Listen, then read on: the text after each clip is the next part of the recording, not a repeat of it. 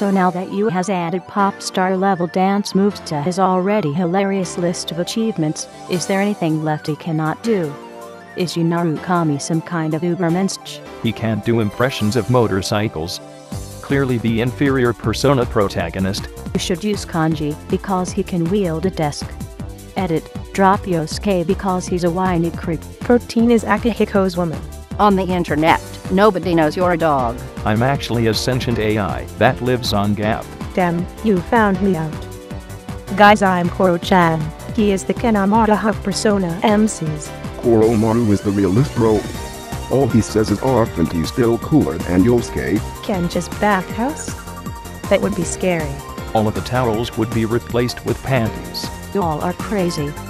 Kanji is clearly the most charming and sexy thing alive. Wait a second, Chie has yours. The legends were true.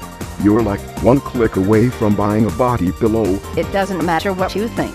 We're not tall nerds. All the time. Super jerk whatever I hate you die die die blah. Sit tight, partner.